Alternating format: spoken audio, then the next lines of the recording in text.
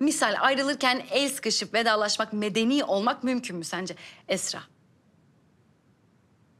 Hmm, peki Esra biraz kararsız sanırım bu konuda. Tamam geçtik.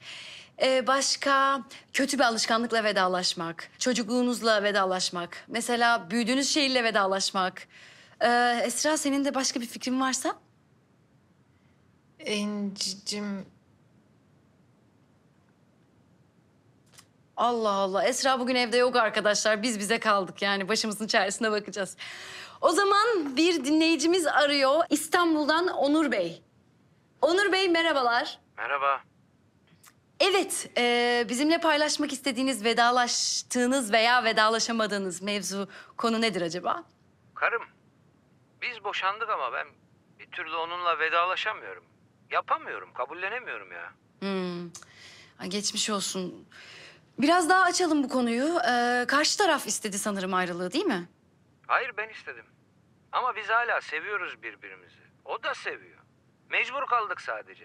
Allah Allah neden mecbur kaldınız? Ya şimdi ilk eşinden bir kızı vardı. Biz onunla anlaşamadık bir türlü aynı evde. Yani ben her yolu denedim ama yok. Çocuk kabullenemedi bir türlü beni. Ne hediyeler ne sürprizler yaptım. Sevemedi beni.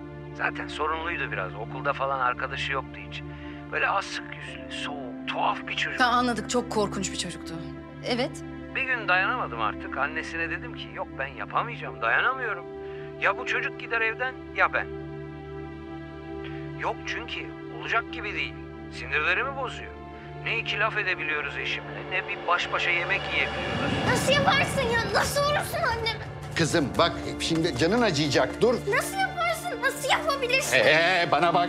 Dur be dur. Senin yüzünden oldu her şey. Duydun mu beni? Senin yüzünden kavga ettik biz. Doğduğundan beri bir gün be. Bir gün mutluluk yüzü görmedik şu evde. Hep mi mızmızlanma? Ya şu sofrada ya. Bir gün ben karımla oturayım de. Şöyle soframı kurayım, iki çift laf edeyim. Yok. Bir düşmedin yakamızdan. Tatlız bırakmadın ki yaşayalım. Çek şöyle.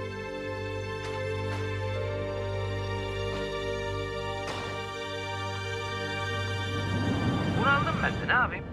Ya ben ya o dedim. Ortada kalmayacak ya gitsin babasıyla yaşasın dedim. Ve o da çocuğunu seçti, sizi seçmedi öyle mi? Öyle. Bakın ama bizim en ufak bir sorunumuz yok da eşimle. E ama ufak bir sorununuz varmış. Bu, e, bu ufak sorununuz kaç yaşlarındaydı acaba? E, Sekiz, on? Yedi. Eğer bizi duyuyorsa şayet eski eşinizi buradan canı gönülden tebrik ediyoruz. Şaka mı? Nasıl ya? Niye şimdi öyle? Sizi şutlayıp çocuğunu sizden koruduğu için. Helal olsun. Anne gibi anneymiş. Herife bak ya. Dağdan gelip bağdakini kovuyor. Suratını asıyormuş çocuk. Allah Allah neden asıyormuş acaba suratını o çocuk? Ya bir çocuğun annesinden daha çok ihtiyaç olduğu bir şey var mı acaba şu hayatta? Siz kim köpeksiniz de o çocuğu yok benim rahatımı bozuyor yok aldığım hediyeleri beğenmiyor falan diye kapı dışarı etmeye çalışıyorsunuz? Siz kimsiniz bir anneyle çocuğu ayırmaya çalışıyorsunuz? Annesinden hak ettiği sevgiyi ondan çalmaya çalışıyorsunuz. Kimsiniz be siz? Yeter, yeter çocukları rahat bırakın. Terbiyesiz. Doğru konuş benimle. Hasta mıdır nedir? Hastayım evet hastayım. Sizin gibiler hasta ediyor beni. Tamam tamam. Lafım bitmedi daha. Bu dünyada kadınlar ve çocuklar ne çektiyse sizin gibi adamların kaypak sevgisi, o aşkı, bencilliği, o kız kalbi yüzünden çekti. Yok çok seviyormuşmuş da, yok veda edemiyormuş da. Ya bir çocuğu kalbine sığdıramayan bir insanın sevgisinden ne, ne olur ki? Asar tabii suratını çocuk, asar. Annesini sizinle paylaşmak zorunda kalmış, sizinle aynı, sizin gibi bir yaratıkla aynı evi paylaşmak zorunda kalmış. Asar tabii suratını. Ne yapıyorsun? Nasıl, ne biçim konuşuyorsun? Ya burası babanın çiftliği mi? tamam Cüneyt ben telafi edeceğim. Tamam benim hatam. Neyi telafi edeceksin Esra? Durduk yerde adama hakaret etti.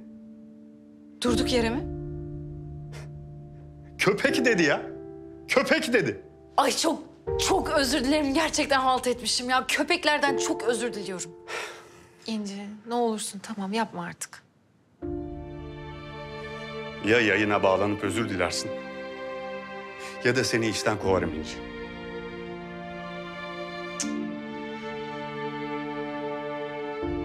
Sana da, radyona da, dinleyicine de, kulaklığına da. Özür müzür dilemiyorum. Ne yerseniz yiyin. Ne bakıyorsunuz be? Ne bakıyorsunuz?